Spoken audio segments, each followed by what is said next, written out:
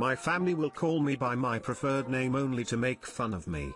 Basically the title, I, 18F, started going by a different name when I was about 14 or 15. I always felt that my birth name was not me and it made me feel uncomfortable. X. If my name was Lorraine, I would like my name to be Layla or Leah. I only recently built up the courage to express this to my peers, friends, and family. I was so glad when I figured out that my university had an option for preferred names. It is my name on my student ID, my mailbox, my homework assignments, etc. It makes me feel very happy and confident in my choice. My new name feels like me now, but my family only makes fun of me because of this. Now that I'm at home for the holidays, it has only gotten worse. For example, Whenever I'm on the phone with friends, they call me by my birth name very loudly and follow it up with that's your name, not anything else.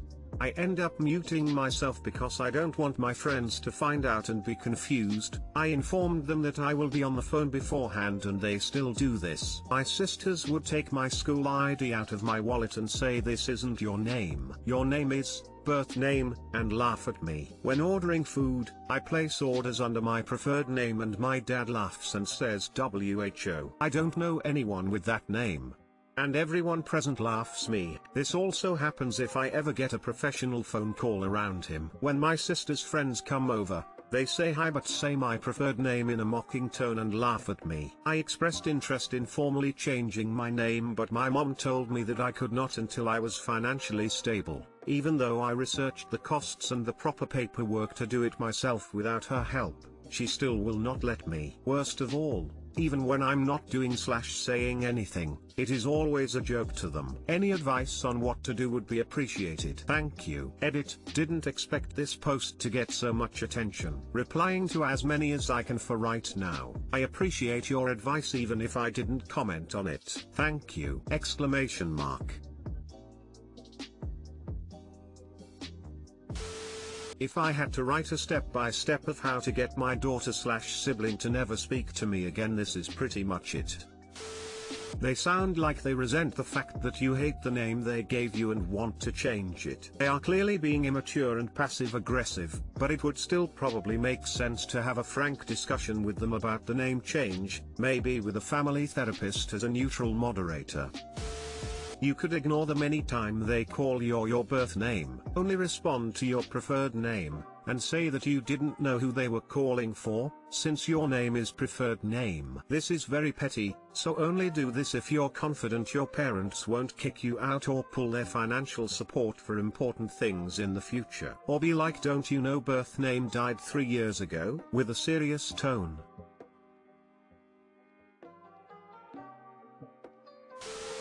Change it legally and tell them to go fuck themselves. Good luck.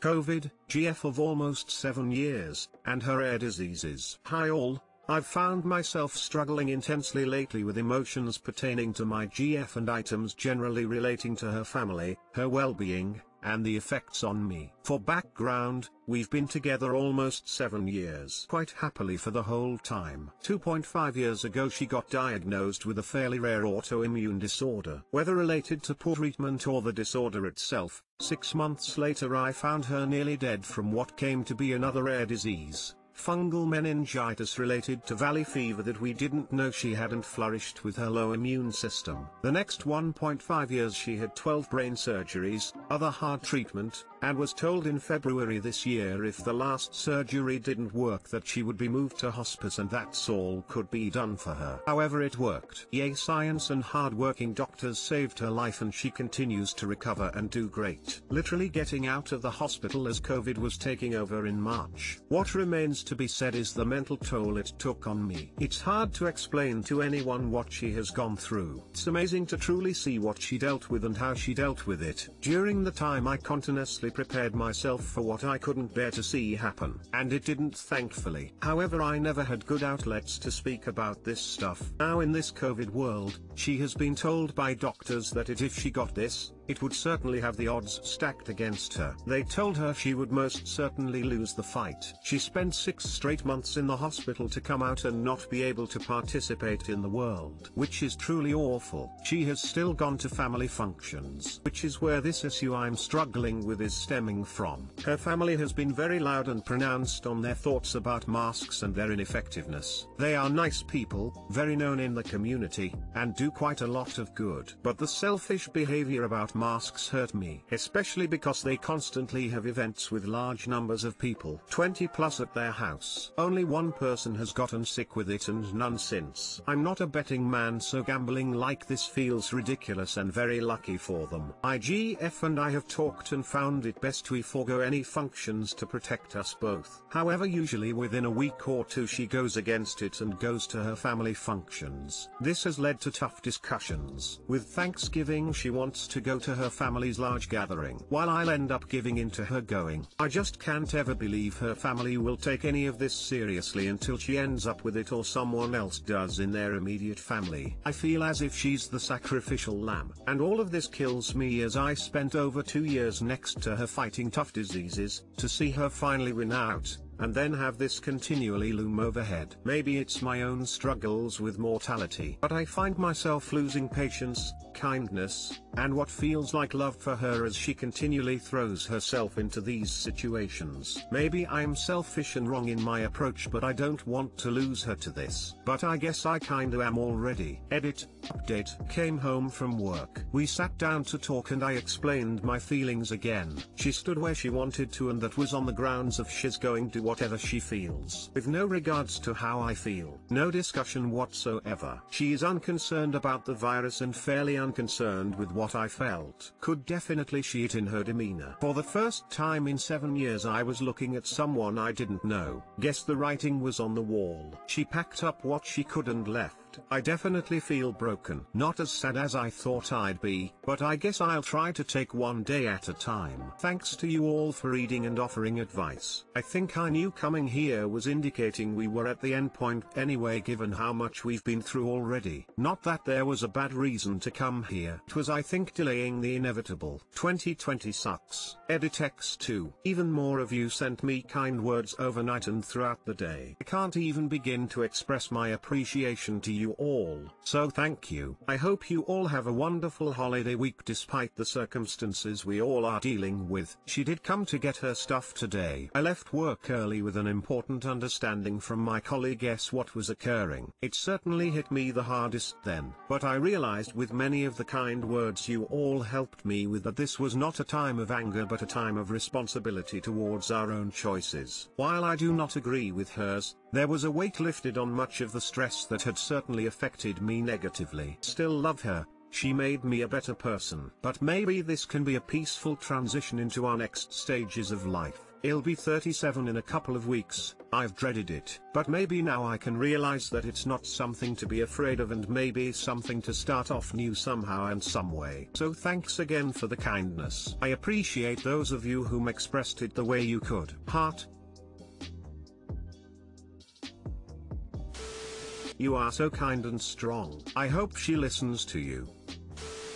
You are exhausted from taking care of her for years. And I'm sure she's exhausted from continually being sick and finally wants the time to relax and let loose. Timing sucks but this is ridiculously selfish. This would be unforgivable to me. She's being selfish and ridiculously stupid. Tell her that you did not spend years watching her get better just to throw it all out over a few parties. TBH this is almost a deal breaker level of selfishness for me. Be upfront and assertive. Loving someone does not mean you have to watch them destroy themselves. Is she going to these events because of peer pressure or she doesn't believe in COVID? What are your long-term plans with her? Marriage? Kids? If it's peer pressure, you must make your ground now or her family will influence all your interactions in the future. She doesn't believe in COVID, you really need to reevaluate your relationship with her especially since she is alive because of the medical team. You need to have a serious talk with her, tell her you won't go, period. You have to show her how serious you are. Also talk to her doctor maybe they could knock some sense into her and ask them about the current vaccine. Is it good for your wife to take it with her medical history? Don't know what else to say, good luck. You are absolutely not selfish. Her family is incredibly selfish and probably manipulative. She should not have to risk her life for Thanksgiving. Please stay home. Please please please. What a fucking moron. Her family is dumb as fuck too. Sorry for your loss, but you're better off. I'm a morbidly obese virgin, 21M. Do I have any chance with her, 23F? I know the answer is probably no, but I wanted to make this post anyway. I weigh 29 stone, 410 pounds, and I'm 5 feet 11 inches. I left school at 16 with no qualifications and since then have never had a job. I just stayed at home playing video games. I have been fat all my life, food is my comfort and obviously I eat way too much. My mum lost her job due to corona and my older brother left home so I was forced to get a job. I started on the same day as this girl who is 23. She is both today I fucked up and skinny. She was the only one who made effort with me at the beginning. I am very shy and most people ignore me because of my weight. I have developed a huge crush on her. She sits with me most days for lunch and we send each other memes and stuff. She is one of the few girls who doesn't seem to be disgusted or treat me any different because of my weight. She is quite a bit more experienced in life than I am, she has a degree, has had jobs, partners etc. I feel like a kid in comparison. The job is quite physical and I struggle sometimes. She helps me in a way that isn't patronizing. I have worked there one month now and I have lost 10 pounds, but obviously I have a long way to go. I wish I could lose weight quicker but I need food to get through the day at work. I feel motivated for the first time ever though. I don't know if she knows I like her. I have never had a crush like this before and I don't know what to do. I get very jealous if other guys flirt with her. I am not attractive, obviously, and there's no real reason why she would like me. She has not shown any signs she wants more than friendship, but TBH I wouldn't know what those signs were. I'm a kissless virgin. Should I even bother? Or should I wait till I lose the weight before asking her? TLDR, I like a girl way out of my league. I'm an obese kissless virgin, she is older, experienced and very pretty. You already lost 10 pounds, not a bad start. Now I'm gonna be honest with you. I think you should focus on your own health right now and don't lose weight because of her. Do it for yourself. It will greatly improve the quality of life. My GF was a bit overweight and she started a diet and she had an incredible willpower not to quit. She wasn't obese but after losing 15 kilograms in 3 months she feels more free. She gets so excited when she finds some of her old clothes and they fit her now. But I digress, you need to lose weight for yourself, not because of a girl. The most probable outcome if you confess right now is that she rejects you and you two will feel awkward working together and stop being friends. If that happens you'll either lose your motivation to lose weight or motivate you even more to lose weight and find someone else but you'll have one less friend. Wish you the best and I hope my comment helps you, I'm not trying to fat shame or anything bad like that, cheers.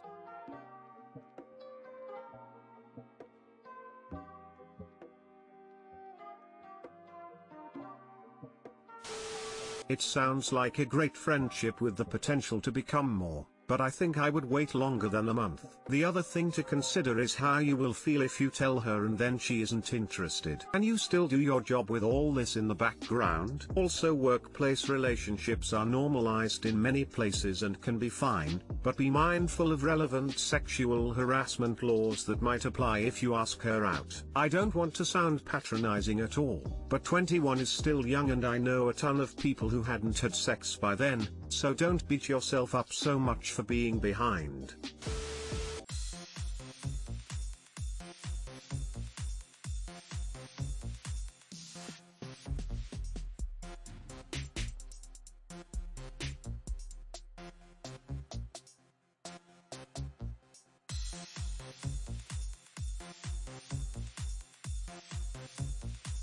We'll